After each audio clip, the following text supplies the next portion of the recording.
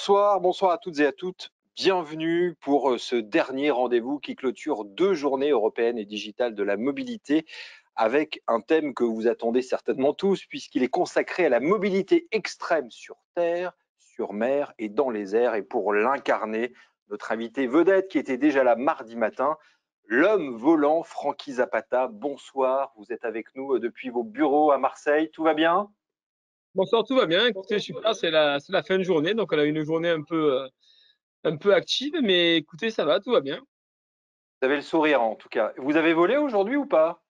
Euh, non, non, non, euh, je pars voler demain, justement, on va faire les premiers essais de la, en réel de la, de la structure de la voiture volante. Donc, euh, donc voilà, ça fait tous les jours on reporte, donc en fait ça tombe, ça tombe super bien aujourd'hui parce que on devait le faire jeudi dernier, mais malheureusement on a raté le, on a raté le coche pour quelques heures qu'on a, oui, on avait un peu de finition sur la machine à faire.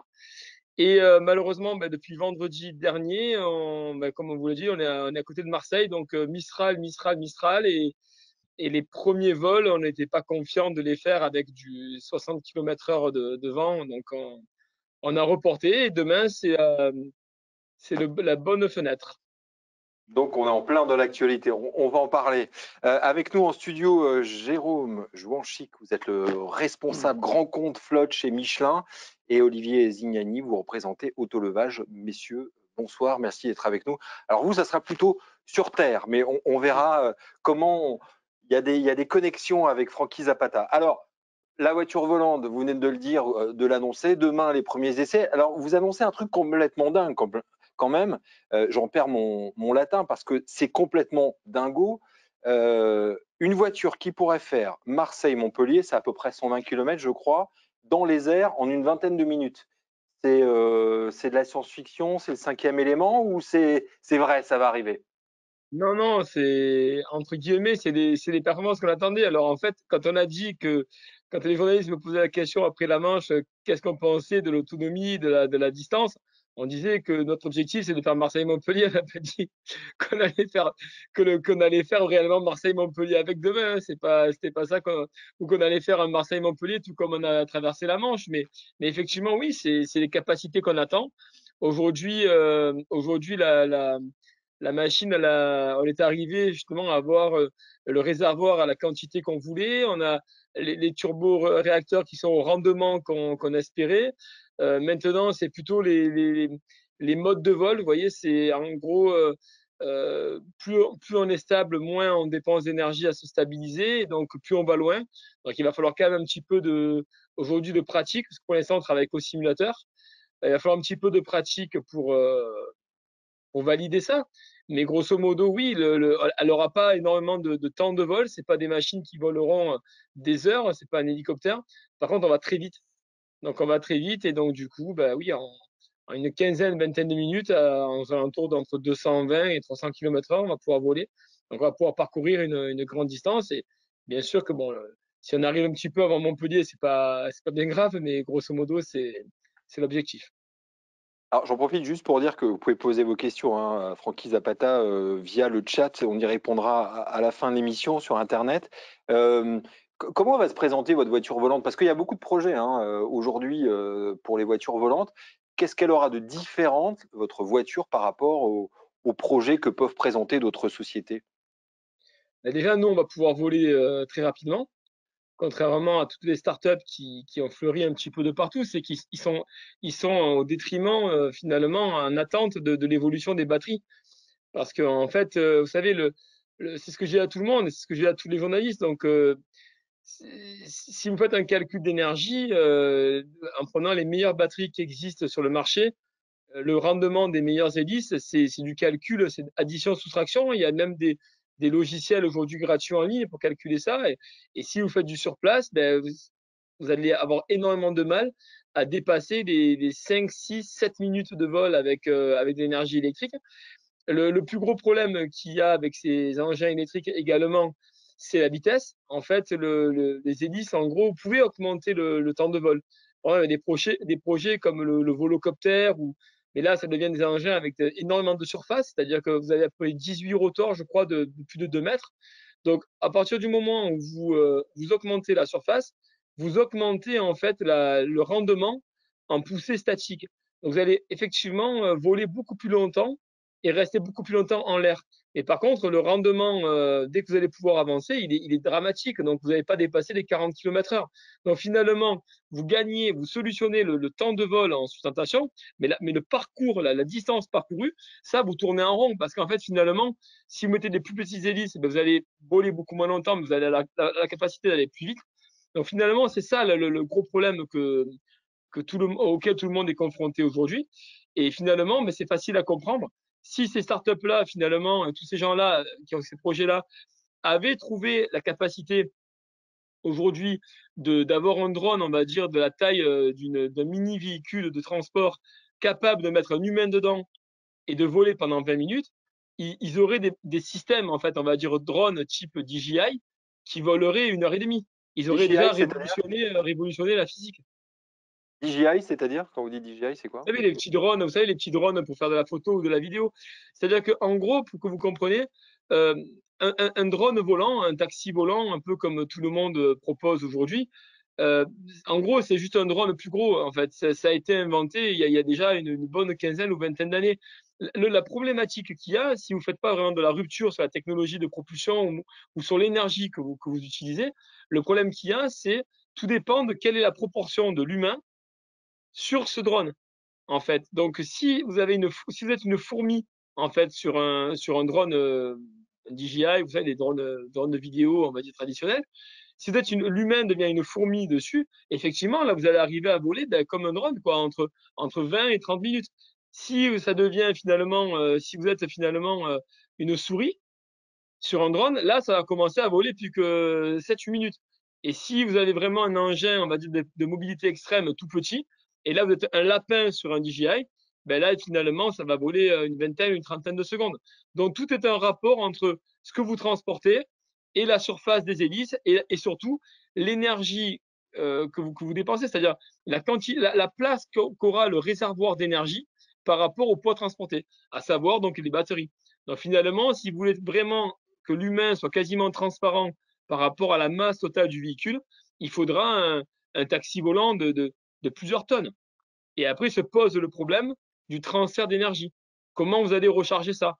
Comment vous allez recharger en quelques minutes et où vous allez recharger en quelques minutes des centaines de, milliers de watts C'est plusieurs centaines, voire des millions de watts. Donc, euh, vous savez, quand vous faites le plein avec du kérosène et que vous remplissez avec 100 litres de kérosène, c'est des millions de watts que vous transférez en quelques secondes. Vous allez remplir un réservoir en une minute c'est des millions de watts d'énergie que, vous transférez si vous voulez comparer avec l'électricité. Donc, euh, moi, je suis, nul en physique, je suis nul en physique, mais là, j'ai compris. Donc, euh, c'est, ça veut dire que votre projet, finalement, euh, a, un sens. Et en, tout cas, ce qu'on a du mal à imaginer, parce que là, vous parlez de drone, ça, on visualise bien, mais une voiture volante, est-ce que ça va ressembler à la voiture qu'on a, qu'on voit dans les films de science-fiction, ou vous avez imaginé quelque chose de complètement différent? C'est quoi l'idée? Alors nous, vous savez, on est une, petite entreprise, donc déjà, euh, on peut pas faire des projets malheureusement. J'aimerais bien, mais mais aujourd'hui, euh, notre métier, ça a jamais été de, de, de lever des fonds. On n'a jamais, on s'est jamais vraiment intéressé à ça. Et puis on a du mal nous à avoir un discours où, où regardez, on aura ça et on fera ça parce que ça, ça c'est assez facile. Tout le monde peut dire ce qu'il aura et ce qu'il fera. Nous, on a plutôt été toujours dans la démonstration et, ce qu'on peut faire et ce qu'on qu'on a, on le fait. Et donc, du coup, on ne peut pas vraiment partir sur des projets, euh, on va dire, de, de, de, très longue durée. Donc, le projet qu'on a construit, la voiture volante qu'on a construit, on est, on est obligé d'avoir pour nous une, une, application à très court terme, sinon on ne survit pas. Donc, en gros, la voiture qu'on a construite, elle est voiture comme le flyboarder est un skateboard. Vous voyez, donc c'est pour que les gens puissent le visualiser. Quand, quand on faisait finalement, on travaillait sur ce flyboarder. Il y aura, il y aura il y aura un manche ou il y aura un, volant, par exemple? Pardon, cette question très concrète, mais on, a envie de la voir, cette voiture. Je vais vous expliquer. Je vais vous expliquer. En gros, vous voyez, c'est aussi différent d'une voiture que ce que le flyboarder est différent d'un skateboard. Mais en même temps, si vous voulez parler à quelqu'un de qu'est-ce qu'un flyboarder, ben, c'est une espèce de skateboard volant. Donc, en gros, c'est un hybride entre un, drone, euh, une supercar, enfin plutôt une, une F1, vous voyez, une, un buggy, quoi, et et un et on va dire un vaisseau spatial. Donc euh, donc euh, disons que ça c'est un siège. Quoi. C'est, c'est le, nous, on a construit un projet. À la base, comme je vous le disais, c'est le premier projet, le premier projet de voiture volante pour nous. Donc, c'est vraiment destiné à la base au loisir. Donc, en gros, c'est, euh, un siège, c'est, c'est, un, un habitacle assez sportif. Où il y a, en gros, c'est une décapotable. Il n'y a pas de, il y a pas de cockpit, il n'y a rien. Et l'objectif, c'est vraiment de, montrer aux gens pour que les gens puissent essayer ce que c'est une voiture volante aujourd'hui, comme les sensations qu'on pourrait avoir dans une voiture volante. C'est pas destiné à aller acheter le pain ou aller travailler avec demain, parce que c'est le début du projet, puisque justement pour pouvoir aller acheter le pain avec, il y a des problèmes techniques, mais il y a aussi des problèmes de, de pollution, il y a des problèmes écologiques, il y a des problèmes de réglementation. Et nous, on a décidé de construire ce produit où très rapidement, on aura le droit de voler avec et de, et de, et de donner aux gens cette sensation. Ça va vraiment être du, du récréatif quoi à la base. Donc c'est une espèce de, de siège, on va dire euh, un peu design caréné, posé sur un sur des bras en carbone et propulsé par des turboréacteurs. L'objectif c'est vraiment d'avoir entre guillemets euh, un des véhicules euh, de déplacement les plus performants au monde, avec des accélérations incroyables, des, des prises de, de, de virages incroyables et des vitesses de pointe incroyables. Mais après, si vraiment on veut aller. C'est une Formule 1 dans les airs, quoi. Voilà, exactement. D'ailleurs, l'objectif, c'est d'aller. Formule 1 que d'une deux chevaux. Ah oui, non, mais vraiment, c'est pas, il n'y a pas de porte, il n'y a pas de, y a pas de cockpit, c'est un siège volant et l'objectif, c'est vraiment de faire du, du, de la course avec, de faire du récréatif. Et d'ailleurs, c'était prévu s'il n'y avait pas eu donc euh, ces épisodes, de, enfin, ces problèmes de coronavirus, etc., qui nous ont à nous ralenti, qui ont un peu tout stoppé dans le monde. On devait faire justement une, course avec euh, avec euh, une Formule 1 en Castellet. Donc voilà quel est l'objectif en fait de cette machine, c'est vraiment d'aller euh, d'aller affronter un peu tout ce qui vole, tout ce qui roule aujourd'hui et, et, de prendre du plaisir avec. Ah, en même temps, la structure de cette voiture, qui est en fait un véhicule de transport extrême et ultra performant, peut servir et on va et en fait on est en train en parallèle de travailler sur ça pour du rapatriement de blessés, du transport de, de marchandises. Mais aujourd'hui, que, que, pour que ce soit clair, on n'est pas dans, on n'est pas avec ce véhicule, du moins vraiment avec ce véhicule, dans la course au taxi volant euh, qui vont venir vous chercher devant le cinéma pour vous ramener à la maison. Ça, on a un autre projet qui est, qui est mené en parallèle, mais c'est pas ce qu'on va sortir euh, très rapidement. Oui, je me disais, vous avez toujours des projets un peu fous, donc, mais ça, ça, ça j'aime bien. Euh, alors, vous parliez de Formule, euh, Formule 1 et de Formule électrique d'ailleurs. On a avec nous euh, Michelin, donc évidemment, euh, Michelin très présent dans la course automobile. Euh, Jérôme Jouanchic, quand vous entendez Francky Zapata, vous dites, nous Michelin, on a envie de. Parce que vous faites pas que du pneu hein, d'ailleurs. Hein. Aujourd'hui, vous faites de l'hydrogène, vous faites autre chose. Enfin, vous êtes sur, vous êtes sur d'autres choses, sur d'autres centres d'intérêt. Est-ce que c'est le type de projet sur lequel vous aimeriez, par exemple, euh, vous associer si c'est avec de l'hydrogène, ben oui, pourquoi pas. Après, il dit qu'il a des bras, si demain il a besoin de pneus, mais nous, on, pourra euh, travailler ensemble, hein, parce que selon si, comment il va vouloir atterrir avec, euh, je dirais, son véhicule ou pouvoir décoller, puisqu'aujourd'hui, on, on travaille aussi dans les airs, hein, parce qu'on a les pneus d'avion, on a fait les pneus de la, de la, NASA. Vous savez, Michelin est souvent mélangé à juste un fabricant de pneus. Mais Michelin, c'est pas qu'un fabricant de pneus. On est aussi un fournisseur de mobilité pour tous. Je donne un exemple, et c'est bien ce qu'il dit. Vous voyez, depuis plus de 130 ans, Michelin travaille justement dans la mobilité avec l'innovation. Je donne un exemple, c'est dans l'ADN aujourd'hui du groupe. En 1891, Michelin a développé le pneu démontable. C'est une révolution euh, à l'époque. La grande, grande révolution dans le pneumatique que tout le monde aujourd'hui connaît, c'est le pneu radial, inventé par Michelin en 1946. En 1990, dans les années 90, Michelin arrive avec son pneu vert avec justement en apportant de la silice dans le pneumatique. Vous voyez, donc on travaille dessus. Et si je rebondis sur ces, projets futuristes comme il a eu, Michelin a eu une, idée euh, futuriste en 2017 avec euh, un pneu qui s'appelait le pneu Vision. Et de ce pneu Vision, c'est pour ça que je l'encourage également de, toujours aller dans, ce sens, d'avoir des, idées de folie. Ce pneu Vision de Michelin, qui est un, un vrai prototype. Aujourd'hui, on a sorti un prototype qui s'appelle Uptis. Uptis, l'avantage d'Uptis, c'est que c'est un pneu increvable. Donc vous pouvez rouler aujourd'hui avec un pneu sans air, il n'y a pas d'air. Ce pneu ne crève plus, donc vous pouvez rouler en toute sécurité euh, euh, partout dans le monde, parce que ce pneu, on pourra le faire rouler dans, le monde entier. Euh, les clients, bah, ils rouleront, on n'aura plus de crevaison, ils seront en sécurité, plus de contraintes de pression, donc ça également, c'est important. Et, pour les flottes ou pour le, le particulier, c'est un point très très important. Et je pense que dans les années à venir, ce pneumatique qu'on pense nous sortir dans les visions 2024, donc assez rapidement. Hein. on pense vraiment que c'est un, un, prototype, un peu comme il dit, mais qui va, qui a, je pense, va arriver sur le marché, va également révolutionner le marché du pneumatique, comme l'a été, euh, je dirais, l'invention du radial. En Kizapata, il y aura des, il y aura des roues après, euh, des, pneus, il y a quelque chose comme ça ou pas Non, dans, notre concept à nous, non, non, c'est, euh, un petit peu le même, le même esprit qu'un hélicoptère. On atterrit en décolle verticale. Donc non, on n'a pas de, on n'a pas de roues. Parce que quand on dit voiture volante, on pense tout de suite à. On, prend la route et puis d'un seul coup, paf, on, part dans les airs. Ça, c'est pour l'instant, c'est pas, pas l'idée. Non, non, non, nous, c'est pas du tout l'idée. C'est ça que je vous disais, c'est la voiture comme, euh, comme le skateboard. Mon, flyboard, il n'y a pas de roue pour. Euh, une fois que tu voles, tu n'as plus trop envie de rester, euh, de rester sur la route. Vous voyez, on a la capacité de se poser un petit peu partout. Donc, l'objectif, c'est vraiment d'avoir un nouveau type de déplacement. C'est-à-dire que une fois que vous volez, vous n'avez pas forcément d'intérêt à, à, rouler, puisqu'on peut voler également entre à 15 cm du sol. Donc, on n'a pas réellement d'intérêt, à part pour sauver de l'énergie. À part pour sauver de l'énergie, on n'a pas vraiment d'intérêt à rouler. Euh, c'est prévu pour combien de personnes? Comme je vous disais, c'est vraiment une seule personne. C'est vraiment un engin de on peut imaginer qu'après, donc une seule personne dans, l'expérimentation, mais après, est-ce que vous, vous imaginez déjà euh, votre engin euh, prendre 2, 3, 4, 5 personnes? Est-ce que ça, c'est possible ou vous, l'imaginez déjà, ça? Ah oui, non, mais évidemment, euh, je veux dire, on, a une plateforme là justement qui est le châssis identique à la voiture, donc qui a, qui a 10 moteurs, qui peut lever jusqu'à à peu près 200 kg, 200-250 kg. Et on a un autre châssis prototype qui volera, je pense, vers le la fin qui lui a 28 moteurs et donc qui a la capacité de lever euh, quasiment une tonne. Euh, donc là, on peut mettre, on peut imaginer euh, X nombre de personnes dessus. C'est pas la quantité de personnes que vous mettez dessus n'est proportionnelle qu'au nombre de moteurs ou qu'à la poussée des moteurs. C'est pas ça vraiment la clé. La clé pour nous, ça a été de développer un bon contrôleur de vol redondant, capable de, on va dire, d'atteindre les standards de, de l'aviation civile, et également de trouver un moyen de contrôler la poussée d'un turboréacteur pour contrôler la stabilité d'une machine, puisqu'un turboréacteur, ça accélère en, plus de 4 secondes. Et pour assurer de la stabilité, vous voyez, en, vol, euh, le contrôle, c'est plutôt en dixième de seconde.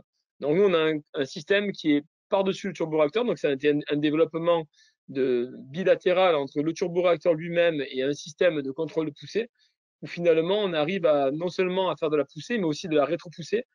Et la réactivité du système, c'est en centième de seconde on passe de, en gros, euh, moins 15%, donc 15% de rétropoussé, de rétropoussé à 100% de rétropoussé en 8 centièmes de seconde. C'est ça vraiment la clé et l'invention qu'on avait pour pouvoir voler. Et à partir de là, le, nombre de propulseurs, je veux dire, euh, on peut euh, mettre des propulseurs plus gros et on peut également augmenter le nombre de propulseurs. Donc, il n'y a pas de limite à ça. Par contre, comme je vous dis, la limite technologique à ce projet, c'est vraiment euh, bah, le bruit, l'autonomie euh, et, la, quantité d'énergie qu'on dépense. Donc c'est pour ça que c'est des engins qui sont à la fois destinés au loisir ou à la sécurité.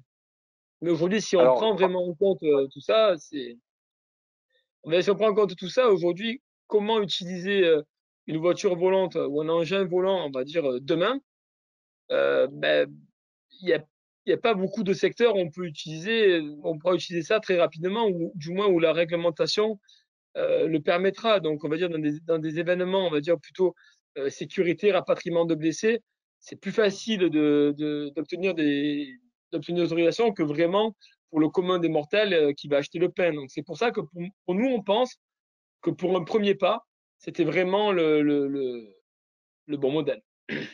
Alors, vous parlez de sécurité, d'aide. Euh, avec nous, Olivier Zignani, vous représentez la société Autolevage. Alors là, on n'est plus dans les airs, mais on, est sur Terre. Vous, en gros, euh, euh, vous dites hein, si je me trompe, vous aidez à, ce qu'on se fasse moins mal, si je puis dire, lorsqu'on décharge un véhicule utilitaire, lorsqu'on fait tout un tas d'opérations qui paraissent complètement banales, mais qui sont euh, assez essentielles et qui sont aussi à la pointe de la technologie. Est-ce que vous pouvez nous expliquer? Oui, c'est le bon terme en fait, pour que les gens se fassent moins mal. Parce que le mal du siècle, c'est le mal de dos aussi. Et les gens se plaignent de plus en plus de cela. Et il existe plein de systèmes de levage, mais qui ont toujours besoin d'avoir au moins deux personnes. Entre celui qui est sur le toit ou celui qui doit porter à deux une machine à laver, il faut être deux. Euh, nous, les systèmes de levage euh, qui sont conçus et, proposés il y a besoin d'avoir une seule personne. C'est un système de levage qui est totalement presque robotisé ou automatisé pour être plus clair. Et à partir de là, effectivement, il n'y a, a, pas besoin d'être deux, il n'y a pas besoin d'avoir des efforts. Je viens déposer ma charge lourde sur une partie de la pièce, en tout cas, et puis j'appuie sur un simple bouton, et puis bah, la machine, elle amène tout ça à l'intérieur, elle le lève. On a juste à pousser d'une main un, gamin de, de 10-12 ans bah, pourrait faire l'effort lui-même. Donc à partir de là, on se fait pas mal.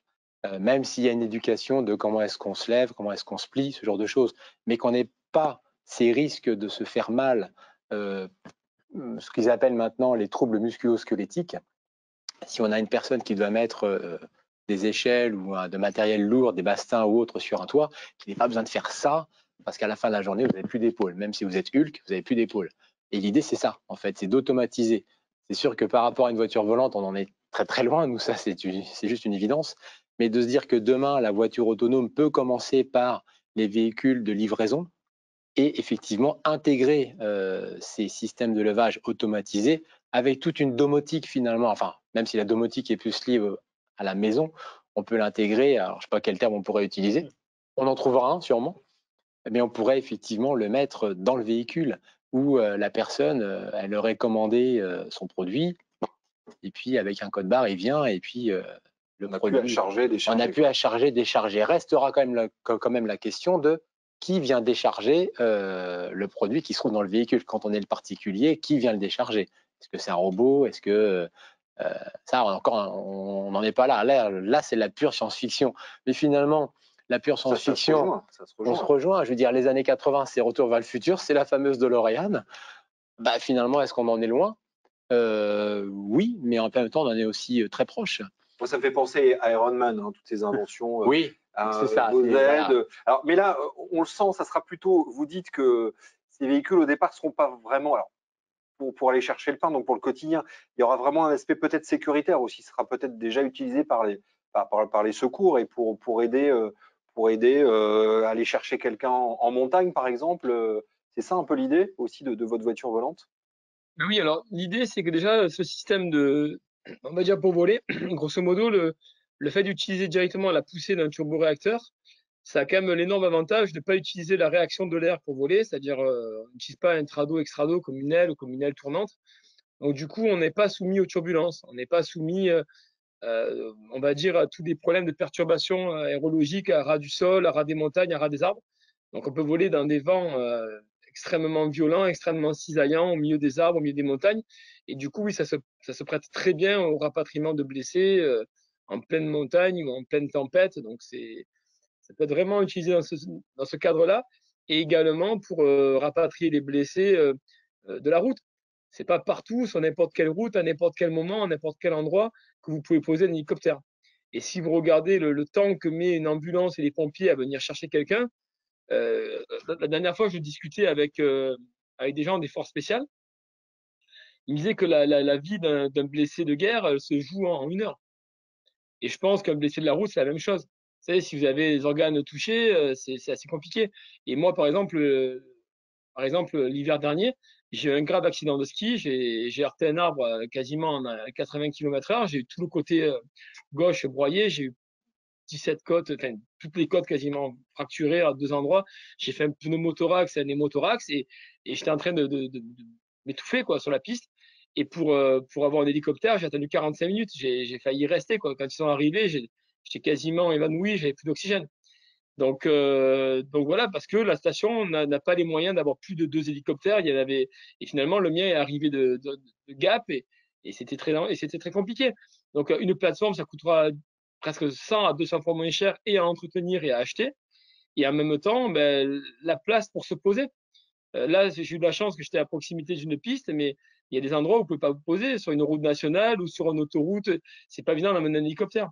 Et quand on parle avec des blessés, euh, la dernière fois, je parlais avec un blessé justement euh, euh qui avait eu un accident en moto. Il disait que eh ben, malheureusement, il avait perdu son pied parce que les pompiers avaient mis dans le trafic plus d'une heure à venir.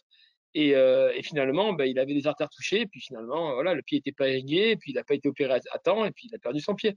Donc, euh, d'autres on perd de la vie comme ça. Donc, je pense que si on est capable d'avoir, alors déjà, premièrement, on n'aura pas besoin d'avoir, vous savez, des, grandes zones d'atterrissage comme l'hélicoptère.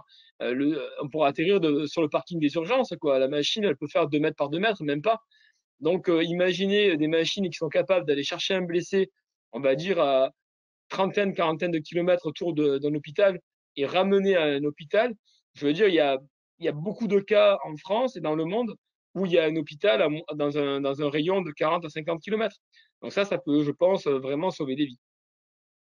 C'est formidable ce que vous racontez. Alors, est-ce que, euh, en termes de, hum, vous parlez des systèmes de propulsion, etc.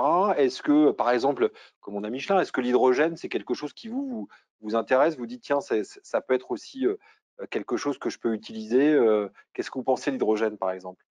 Ben, Disons que l'hydrogène, c'est la clé. Vous savez, dehors, il sort derrière le réacteur, il faut sortir de la vapeur d'eau, donc c'est un peu le Saint Graal. Euh, nous, on a le, le turboréacteur aujourd'hui, il a fonctionné, euh, il fonctionne avec du gaz, on le fait fonctionner au butane, au propane, on arrive à le faire fonctionner avec euh, de l'huile végétale. il, fonctionne un petit peu avec tout ce qu'on peut imaginer, et même des, des, des gaz. On n'a pas fait d'essai encore à l'hydrogène, mais je suis persuadé qu'il n'y aurait pas besoin de beaucoup de développement pour le faire fonctionner à l'hydrogène. La, plus grosse problématique qu'on va avoir, c'est le stockage, le stockage de, l'hydrogène, c'est-à-dire que je sais qu'au niveau poids, c'est et à énergie égale, c'est quasiment euh, deux fois et demi euh, mieux ou, quasiment deux fois mieux que le, que, que le kérosène, donc ça c'est positif.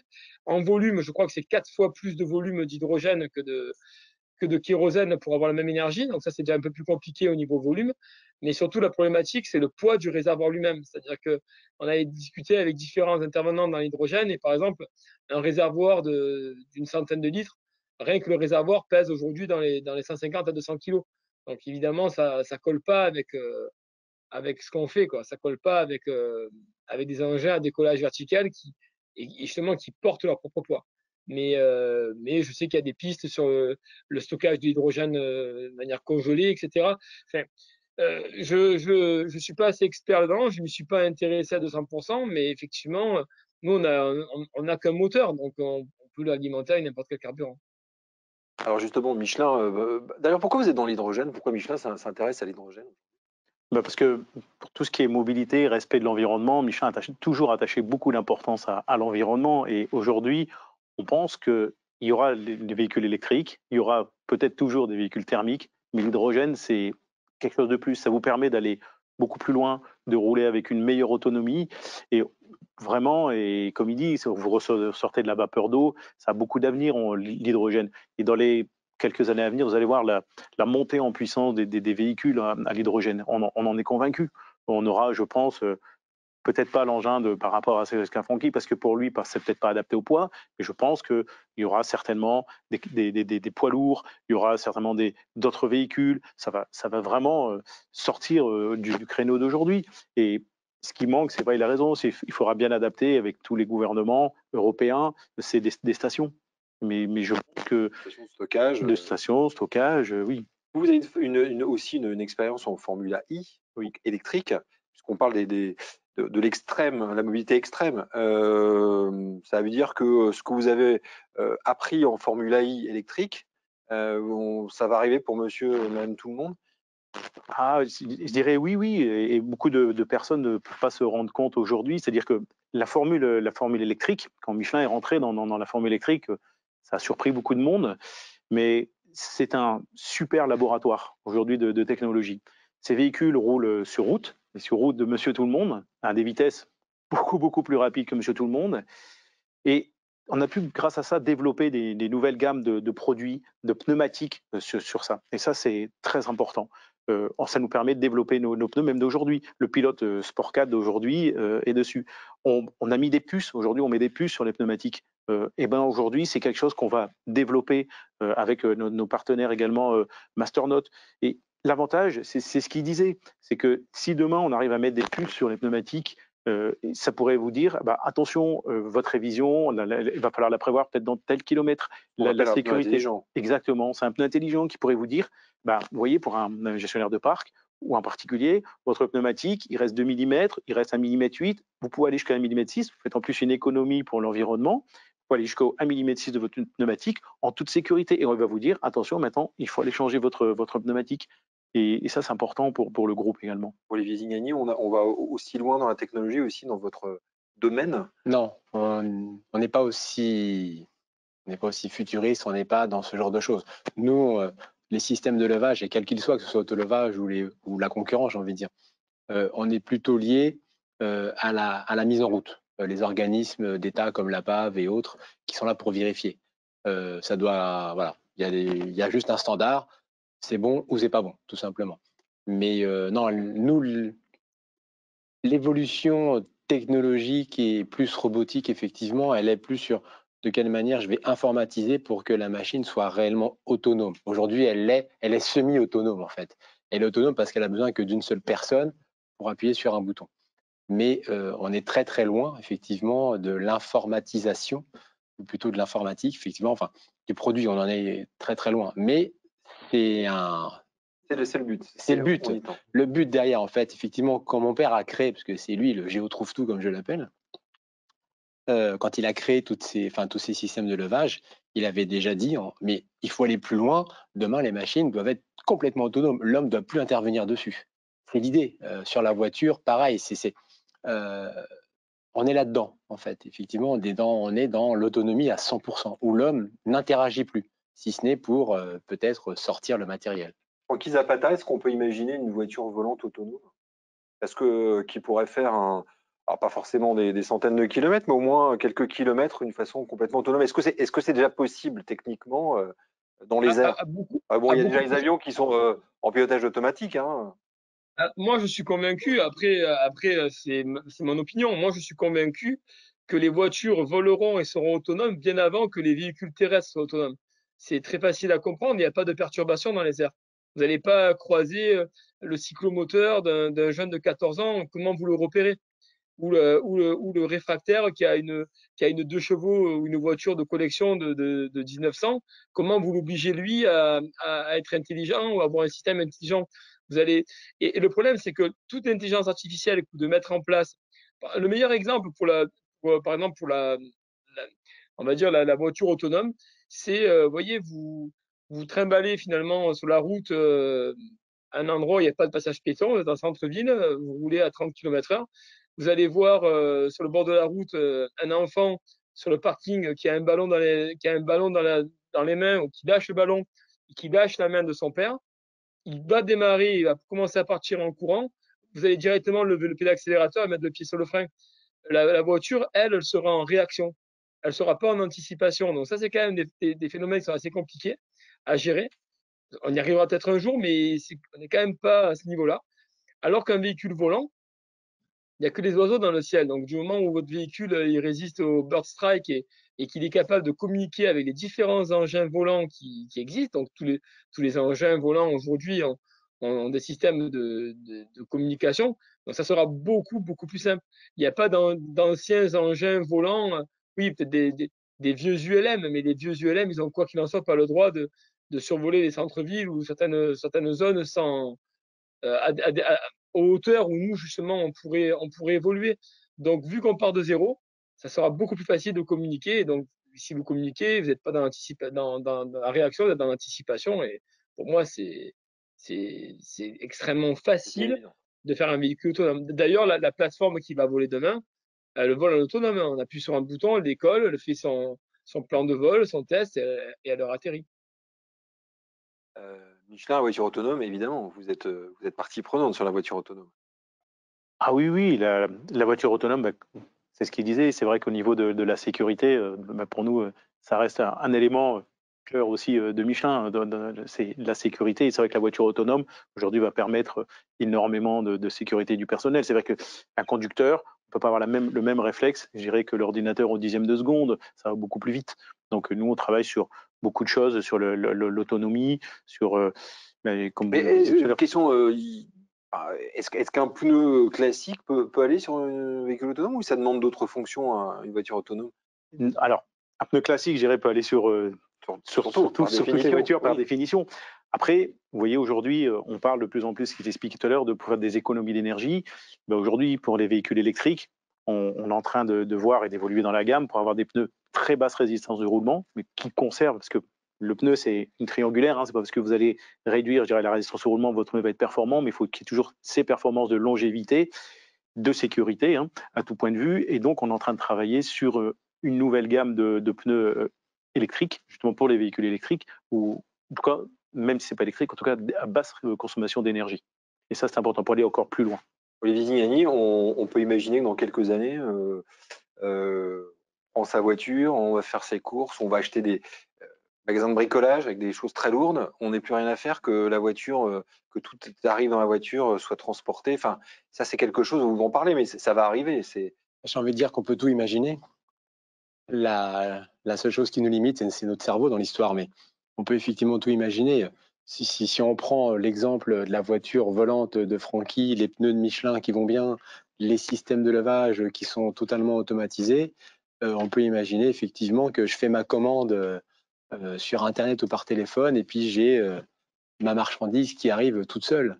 On peut aller très très loin dans l'histoire. Alors oui, on est dans le cinquième élément, avec la lettre qui arrive ou le, restaurant qui arrive à votre hauteur à 100 mètres, mais on peut aller très très loin. Alors c'est demain et en même temps, euh, bah, c'est peut-être proche. Alors je ne pense pas que nous, on le verra de notre vivant, mais peut-être que nos petits-enfants, arrière-petits-enfants, peut-être que eux le verront, mais il y a un moment donné, on y viendra parce que c'est la technologie qui fait que, et c'est toute l'intelligence humaine qui amène cette technologie, mais tout en restant humain. Faut pas l'oublier par contre.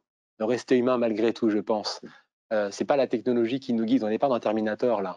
Mais oui, on peut l'imaginer. Clairement, je vais à Casto, je fais ma commande et puis bah, j'ai rien à faire. Et même le gars de chez Casto n'a juste à la limite il a son robot qui vient déposer euh, le marché, enfin la grosse, euh, la grosse, euh, la grosse plaque de placo qui fait 2,50 m par 1,20 m. Il la met sur le toit du véhicule qui se fait tout seul aussi. On peut tout imaginer en fait. L'intelligence aujourd'hui, elle est à un niveau que on peut tout imaginer. En fait, on a on n'a aucune limite. Enfin, les pneus de Michelin qui, enfin, qui sont intelligents, qui réfléchissent, qui nous disent comment. Effectivement, déjà la voiture, elle est déjà autonome aujourd'hui quand on regarde. C'est ce qu'on disait avant. Avec toutes les fonctions qu'il y a à l'intérieur. Avec toutes les fonctions qu'il y a. Le régulateur, le limiteur, euh, les petits voyants qui disent que vous avez quelqu'un à côté qui est trop près de vous. C'est déjà dans. On est déjà devenu dépendant finalement de toute cette électronique et de toutes ces informations que l'on reçoit. Et tout à l'heure, en fait, Francky dit, euh, disait que dans les airs, on parlait de communication, on peut aussi parler d'interconnexion entre véhicules. S'ils communiquent entre eux, euh, peut-être que eux aussi, bah, ils auront une espèce. Et là, on est dans, l'intelligence artificielle. Et l'intelligence artificielle, c'est euh, la machine qui finalement qui réagit euh, en fonction de ce qu'elle a en face. C'est ça l'intelligence. Et, il est fort probable qu'on qu'on lie et l'intelligence artificielle et la machine autonome et les systèmes de levage pour que demain, peut-être que l'homme n'aura plus que des loisirs et à réfléchir et à développer des choses. Et alors qu'aujourd'hui, on se casse le dos, euh, on, a des pneus à changer, ça crève, on a besoin de voler, euh, il faut une autorisation pour décoller, pour atterrir. C'est des choses qui sont un peu aberrantes aujourd'hui. En tout cas, on se dit, mais c'est juste pas possible. Comment se fait-il qu'on ait, euh, ait ces obligations? Est-ce que vous pensez, Francky Zapata, que la, que la technologie va plus vite que la réglementation aujourd'hui? Toujours, puisque c'est en, fait, euh, les gens ils savent pas de, quoi ils ont besoin tant qu'on leur a pas démontré, donc ils n'en sont pas convaincus, puis ils n'ont pas confiance tant qu'on non plus on leur a pas démontré que, que, c'est fiable. Donc euh, c'est évident que la, que la, d'ailleurs la réglementation elle est en réaction à, la, à la, technologie, au développement. C'est ça, c'est ça, c'est évident. Maintenant, euh, c'est vrai que ça serait souhaitable que des fois ça aille plus vite, mais bon après c'est. on a l'impression quand même que à vous entendre tous les trois que c'est un, écosystème, c'est-à-dire qu'on va arriver vers une, euh, tout va être dépendant, on va avoir une machine qui va dans les airs, qui fait, euh, qui va faire les courses. Vous voyez, il y a, une espèce de, de, peut-être de machine, de, de, voiture ou de machine à tout faire dans le futur, où on pourra, euh, alors peut-être qu'on le verra pas de notre vivant, mais comme vous êtes, je sais que vous n'aimez pas l'expression, mais comme vous êtes un géo trouve tout qui pensait à, tout, est-ce que vous allez peut-être nous sortir une voiture qui, qui sera capable de tout faire, voilà, qui sera sur les airs, sur, sur mer non, ça c'est quelque chose qui est, complètement fou ou comme je sais que vous réfléchissez à des choses complètement folles, est-ce que ça vous y avez pensé par exemple? Écoutez, moi je pense que, que, tout est faisable. Vous m'entendez? Je n'entends pas très bien. Oui, on vous entend parfaitement. Désolé. Je vous disais, le, moi je pense que, tout est faisable. Après, euh, euh, les seules limites, c'est le temps, le temps qu'on y investit, etc. Après, moi personnellement, euh, je suis pas, vous voyez, je ne fais pas des inventions pour, je me lève pas le matin en me disant qu'est-ce que je pourrais inventer de nouveau qui pourrait apporter quelque chose? Je, ne me tracasse pas à faire ça. Moi, je, moi, j'ai vraiment plutôt des, des, des, rêves et des passions et je résous des problèmes pour, pour arriver à ce que ces machines que j'ai imaginées volent. Mais, mais disons que aujourd'hui, euh, euh, je suis pas dans ce créneau-là. Moi, mon, créneau aujourd'hui, c'est j'ai envie que mes machines volent. Après, euh, je laisse ça aux autres. Mais euh, il y a vraiment d'autres passionnés et des inventeurs, des inventeurs euh, géniaux qui, évidemment, trouveront, trouveront les solutions. Aujourd'hui, avec toute la mécanique, l'électronique et les algorithmes qu'on a, c'est effectivement à portée de main. Alors, on va passer aux, aux questions d'internautes, parce qu'il y en a beaucoup, évidemment.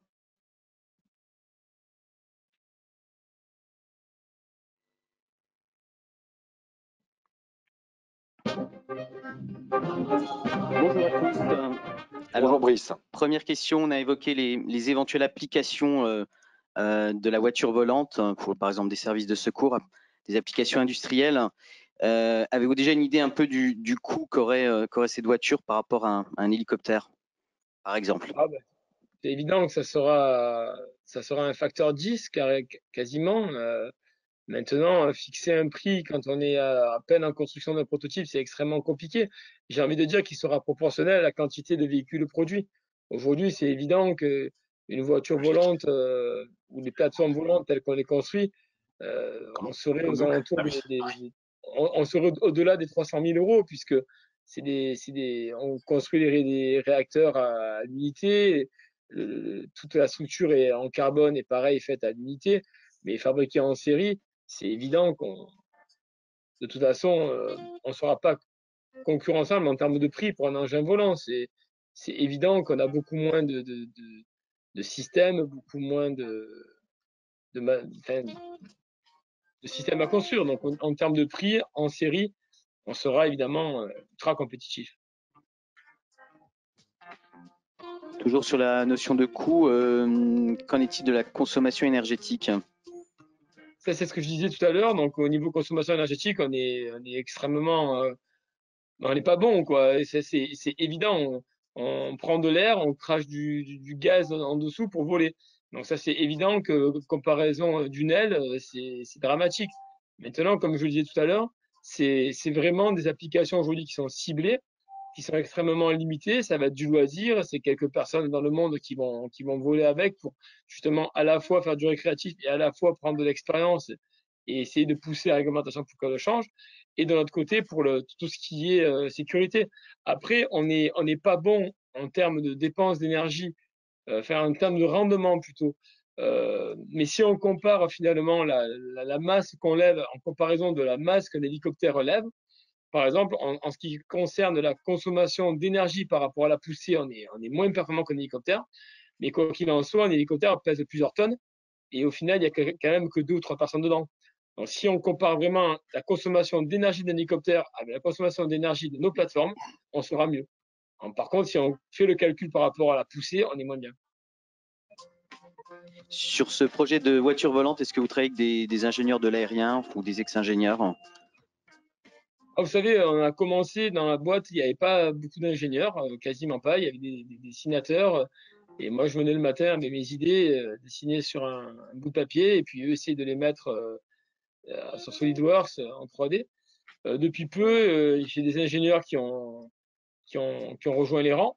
Donc, en programmation, tout ce qui est software, d'autres ingénieurs mécaniques et, et ingénieurs en, on va dire plutôt sur tout ce qui est réglementation, documentation, etc. Et euh, donc voilà, aujourd'hui, on a une, une, belle petite équipe qui se qui s'étoffe de, de, jour en jour. Et oui, effectivement, il y a des ingénieurs, mais pas forcément beaucoup qui viennent de, de l'aéronautique. C'est plutôt des passionnés et des gens qui viennent un petit peu de, de tous les horizons. On imagine que vous êtes en, rapport avec la, DGAC, euh, la Direction générale de l'aviation civile. Euh, Est-ce que vous avez déjà une idée de, vos, des auteurs de vol? J'imagine que oui, vu que vous faites une expérimentation. Euh, Est-ce que c'est par exemple la même chose qu'un qu hélicoptère? Ah, nous, au niveau hauteur de vol, on n'a aucune limite à part le, le- les limites réglementaires. Pour l'instant, par exemple, avec mon flyboarder, j'ai pas le droit de dépasser les 50 mètres. Ça, c'est comme ça, au moins, hein, ils sont sûrs que je croise personne en l'air. Mais, euh, mais disons que ça, c'est amené euh, à changer. Hein. C'est uniquement, pour l'instant, ça nous va très bien, mais effectivement, il n'y aura pas spécialement de, de problématique.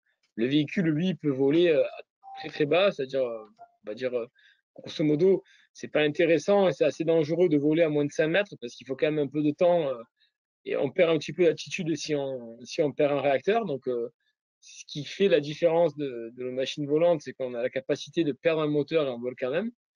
Donc, euh, mais par contre, au moment où on le perd, on a quand même une, baisse d'altitude. Donc, euh, c'est intéressant quand même de voler au minimum à 6-7 mètres, de- de- 6-7 mètres du sol. Et par contre, en termes de max, euh, on va aller à 5, 6 000, 7 000 mètres sans aucun problème. Vous êtes un, pionnier euh, dans le monde hein, sur ce, type de sujet de technologie. On sait que vous collaborez avec les forces spéciales françaises euh, sur le flyboard. Sans trahir de secret, comment vous prémunissez de l'espionnage technologique? Oh, pas, on se prend pas trop la tête avec ça. ouais, on, dépose des brevets, mais moi, comme je dis tout le temps, on peut vous voler tout ce que vous avez. La seule chose qu'on pourra jamais voler, c'est ce que vous aurez. Donc, il faut avoir un temps d'avance et courir plus vite que les autres. Moi, ça, ça me dérange pas. Mon métier, c'est ma passion et je sais que j'ai une innovation par jour. Donc, bon, ça, ça me stresse pas spécialement. Alors l'innovation chez, Michelin, vous, c'est votre, ADN. hein. Vous êtes aussi, euh, quand les frères Michelin avaient dé- développé le pneu, c'est un peu comme Frankie Zapata, quoi. Personne n'y croyait, c'est un truc complètement dingue. Et on voit ce que ça donne aujourd'hui. E- Est-ce que ça, continue toujours? Est-ce que c'est quelque chose sur lequel on investit aujourd'hui toujours aussi fortement, malgré les crises économiques, malgré ce qui se passe? Est-ce que c'est fondamental? Ben, L'investissement de Michelin, pour donner euh, sur la recherche et développement, on investit en, en moyenne un peu plus de 640 millions d'euros par an sur tout ce qui est recherche et développement. Pour nous, euh, c'est très très important la recherche et développement. C'est vraiment le cœur de l'ADN du groupe Michelin. Et comme on disait tout à l'heure, pas que sur le pneumatique. C'est pour ça que c'est également important. Michelin, on l'associe bien sûr au pneumatique, mais il y a tout le reste euh, pour Michelin, justement, sur la mobilité durable pour tous. Et ça, c'est important. Et vous investissez dans des startups aussi. euh, vous êtes présent dans pas mal de startups. Oui, De plus en oui. plus. De plus en plus, on a racheté, bah, comme on disait tout à l'heure, on a racheté Masternote en mettant des, on, est à- on a racheté Symbio, on est en partenariat avec Forestia, donc là on n'a pas racheté, on, on est ensemble. Oui, on rachète de plus en plus de, de, de startups pour se développer. Euh, Francky Zapata évoque le- le- le- le- l'énergie qui est, qui est déployée, dépensée. Euh, sur un pneu aujourd'hui, euh, on économise de plus en plus de carburant. Grâce au pneu, ça on n'y pense pas souvent. On qu'un pneu, euh, finalement, ça sert. On n'imagine pas que ça sert à ça, et pourtant, ça permet d'économiser beaucoup de carburant au final.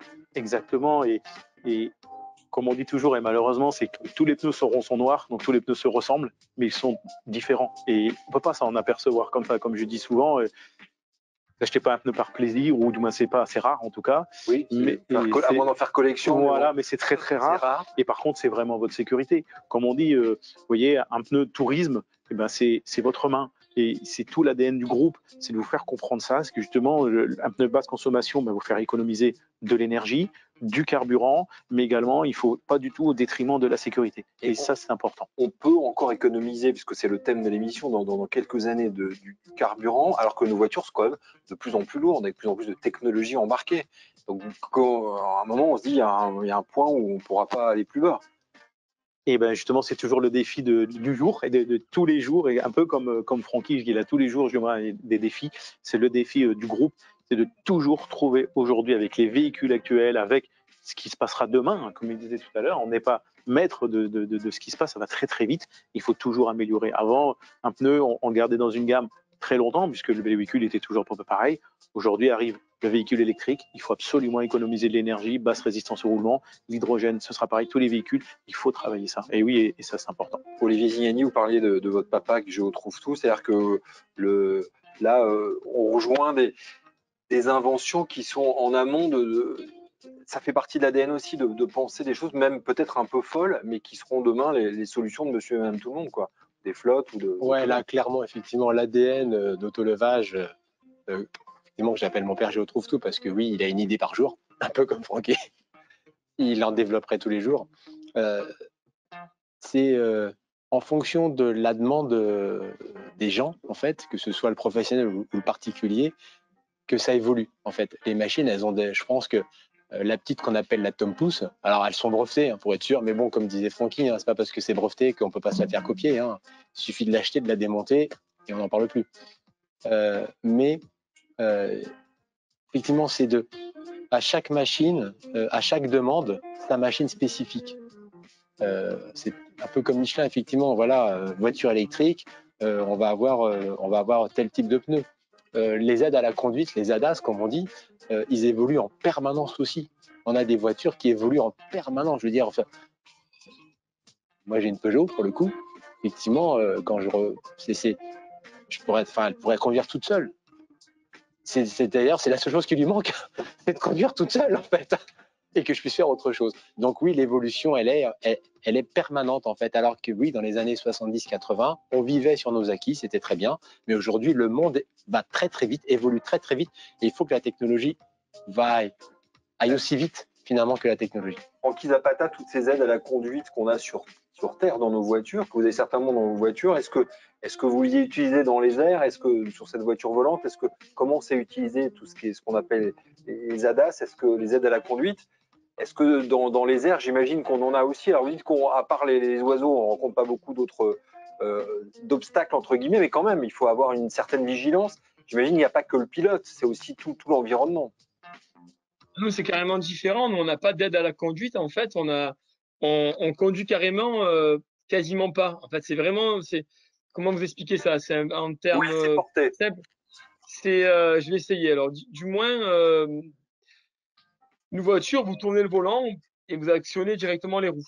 D'accord? Et vous avez un système qui va essayer de, de, vous bloquer ou d'agir avant vous s'il y, a, une problématique. Nous, en réalité, quand on vole dans cette voiture volante, c'est comme si vous preniez un stylo et, et, vous dites au, système, je veux aller là. Et vous le baladez sur la map monde, vous voyez? Donc, en gros, vous demandez où vous voulez aller et le véhicule y va. Ce qui fait qu'en fait, le véhicule n'a pas besoin d'être en, en réaction à un problème, il est en anticipation. Ce qui fait que si vous voulez dans un endroit où le véhicule ne veut pas aller, il n'ira pas. Donc vous, vous n'avez pas du tout le, cette sensation parce que quand vous pilotez, en fait, la, réaction est tellement rapide que quand vous tournez, en fait, le véhicule tourne immédiatement. Mais comme on crée ce qu'on appelle des, des, des, des, en fait, vous avez le, par exemple, pour le, pour le, le commun des mortels qui va, qui va piloter nos, nos, nos voitures volantes, vous imaginez bien qu'on ne va pas laisser les gens monter dedans et puis ils vont partir à l'autre bout de, la planète et on n'a pas de contrôle. On va les faire voler dans une espèce de, tube d'hamster, vous voyez, vous allez pouvoir aller un peu où vous voulez, mais dans une espèce de tube autour d'un circuit. Et en gros, euh, la voiture ne réagira pas quand vous allez sortir de la géofence. C'est vous qui demandez à la, voiture d'y aller. Donc, euh, si vous voulez sortir, elle dira carrément pas. Donc, c'est au-dessus, en fait, de, l'anticipation. C'est réellement, on demande au système de le faire et s'il veut, si c'est euh, faisable, il le fait on vous a un petit peu perdu, mais on a bien, on a bien compris qu'avec vous, on a, c'est même plus le, film de science-fiction là, on est, on est carrément au-delà. Euh, on, va arriver au terme de l'émission. En, un mot, alors si chacun peut un peu conclure. Euh, vous diriez quoi que, le, futur, c'est déjà aujourd'hui, les technologies ont tellement avancé que finalement, ce qu'on va voir arriver, c'est déjà dans les cartons et, c'est là, quoi. Ah oui, mais c'est là et ce sera encore demain et après-demain et pour les futures générations. Et et comme on dit chez nous, et je pense qu'on se, rejoint, on se rejoint tous, c'est que l'innovation, c'est dans l'ADN de Michelin, mais c'est dans l'ADN de, toutes les personnes qui sont ici. Et, mais c'est celle qui permet le progrès dans la mobilité. Et il faudra toujours innover. Demain, après-demain, dans 10 ans, dans 20 ans, dans, dans, 30 ans, dans 40 ans, il y aura toujours l'innovation. Tout le temps, tout le temps, tout le temps. Et on ne sera jamais au bout, je pense, tout à l'heure. Bah, moi, je dirais que oui, l'innovation, euh, c'est un système qui évolue en permanence mais entre les inventions de chacun, il y a tout de même un mot qui doit être important, c'est l'éducation.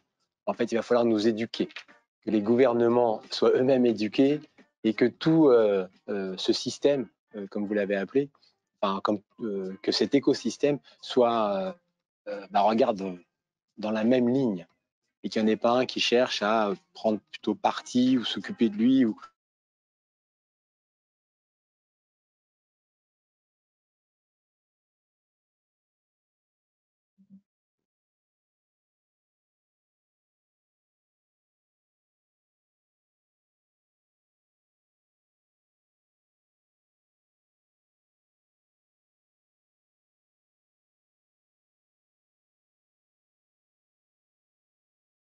Je sais pas si vous m'entendez, mais moi, je vous entends plus.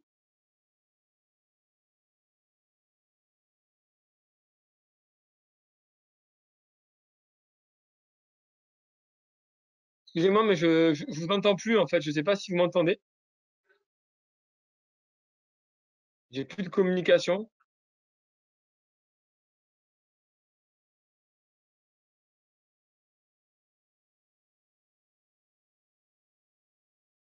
La communication. Si, Ah, ça y si est, le son revient, Ça y est, c'est reparti. c'est revenu, je vous entends. Voilà, c'est comme quoi l'humain, hein, je trouve bien que l'humain est important. Voilà.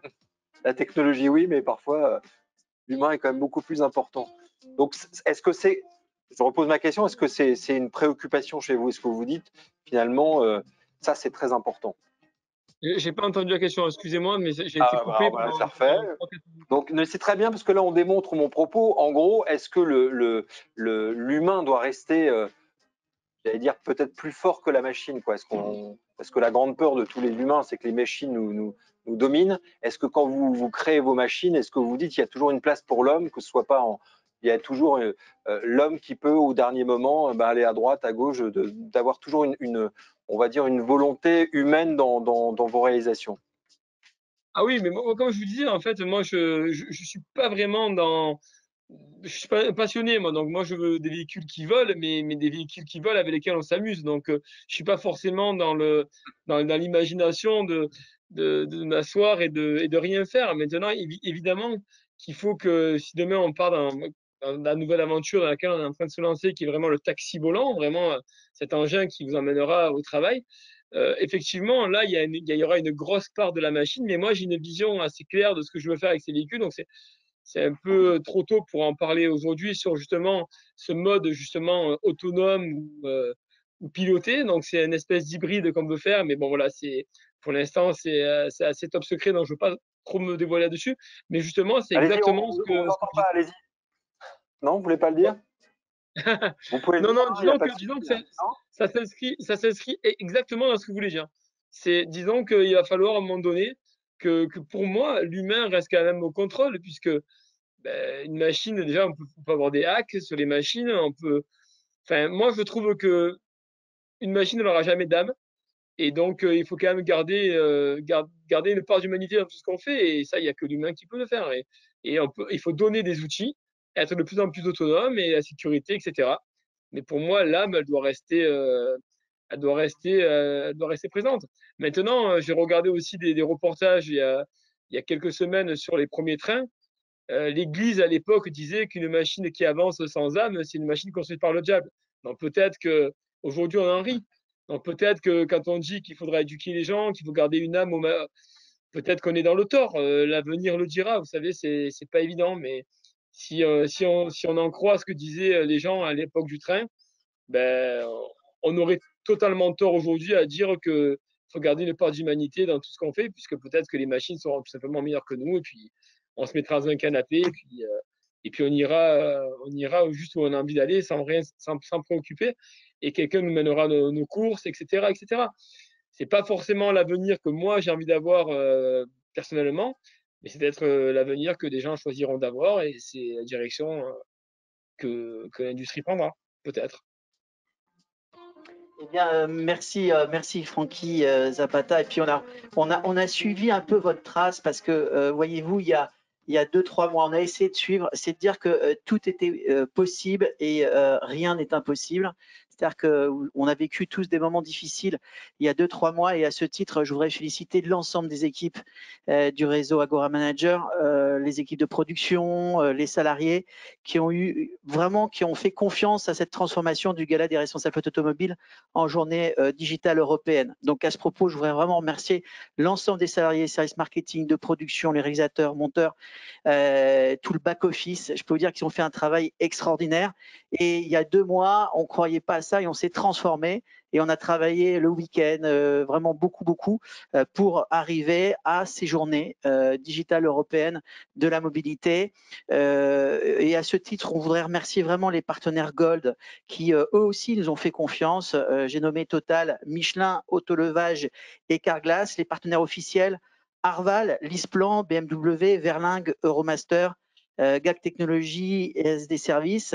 Euh, vraiment merci à eux, puis aussi merci aux médias, aux partenaires médias qui euh, aussi nous ont accompagnés dans cette démarche extraordinaire et qui nous a fait beaucoup bien là-dessus. C'est le guide Facilities, le salon autonomie, salon autonomie, on vous oubliera pas. et Pascal, un petit mot, on vous soutiendra euh, à chaque fois maintenant, parce que vous nous avez fait confiance et ça, on n'oubliera pas les gens qui nous ont fait confiance là-dessus. Et puis Agora News Mobility, avec son patron de la rédaction, Yves Guita, qui a fait un, travail euh, vraiment euh, ambitieux, qu'il a réalisé, c'est juste magnifique. Bravo à Yves, bravo à Christophe aussi, qui est venu nous rejoindre et c'était pas évident et qui nous a fait confiance. Merci à lui. là aussi, c'est très émouvant parce que c'est tous ces, femmes et ces hommes qui nous ont accompagnés et qui ont eu foi dans ces euh, nouvelles journées euh, digitales euh, de la mobilité européenne. Et puis européenne parce qu'il y a eu le FMFE. Le FMFE, c'est la Fédération européenne des responsables de flotte automobile qui nous ont apporté leur soutien, plus que leur soutien, puisqu'on a eu la joie et le plaisir d'accueillir cinq pays. J'ai nommé le Belgique, le Luxembourg, l'Allemagne, l'Espagne, l'Italie, puis la France. Voilà, c'est un démarrage. En tout cas, ces journées-là, on les gardera les journées de la, de, la mobilité, les journées digitales. Et puis, bien sûr, on, à partir de, 2021, on, remettra le gala physique en place des responsables automobiles parce que c'est deux choses qui sont différentes. Et l'humain et la poignée de main, elle est très importante. Mais malheureusement, en ce moment, la poignée de main, on ne peut pas la faire. Et il faut se transformer et informer et faire en sorte que euh, les femmes les hommes qui composent euh, la mobilité d'aujourd'hui et de demain puissent se rencontrer et puissent échanger. Et c'est sur les plateaux de, euh, de Agora News Mobility avec l'aide de l'ARFA et du comité de pilotage de l'Agora responsable automobile qu'on a pu organiser ces deux jours. Là aussi, un grand merci à eux. Euh, j'ai nommé euh, Laurent, euh, Nathalie, Yannick, Arnaud, Patrick. J'ai oublié Jean-Luc.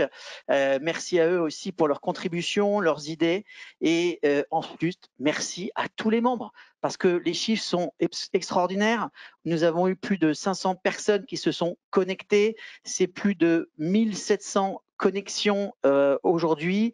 Euh, donc, on a des chiffres vraiment euh, formidables. Et c'est des chiffres formidables parce que les gens qui sont connectés sont vraiment des responsables flotte automobile, des patrons d'environnement de travail, ceux qui s'intéressent à la mobilité, qui sont donc des décideurs métiers et qui ont bien voulu nous suivre. Vraiment, merci à eux et merci pour leur soutien. On entendra bientôt le comité de pilotage dans une autre vidéo dans quelques temps pour ça. Mais voilà, Francky, nous aussi, on a essayé de enfin voilà, de, suivre un peu cette trace, de dire voilà, les choses sont possibles, on peut se retourner et on peut faire euh, de belles choses, mais on peut faire de belles choses avec l'aide des autres partenaires et des femmes et des hommes qui ont fait qu'ils ont cru à ce projet. Donc vraiment du fond du cœur, fond du cœur à tous les gens que je viens de citer, merci et on vous oubliera pas euh, là-dessus. Et puis vraiment merci à Francky et je laisse le soin de conclure à Christophe. Merci à tous. Merci, merci à tous. Que dire après ce que vient de dire Michael euh, Francky Zapata, on vous souhaite quand même un bon vol demain, c'est ça Ce qu'on peut dire bon vol? Ben écoutez, moi je serai au sol euh, pour la première fois de ma vie à regarder une machine voler, mais ça va pas vous, démanger? Ça va pas vous démanger, hein? Vous n'allez pas être ah, ben, un petit je, peu. Je, je, suis, un, je suis une languille du monter dessus, hein, mais pour l'instant, voilà, la sécurité en premier. Il faut voir comment les choses évoluent avant. Merci, merci à tous, merci, messieurs. et très belle soirée. C'était un très bon moment. Merci.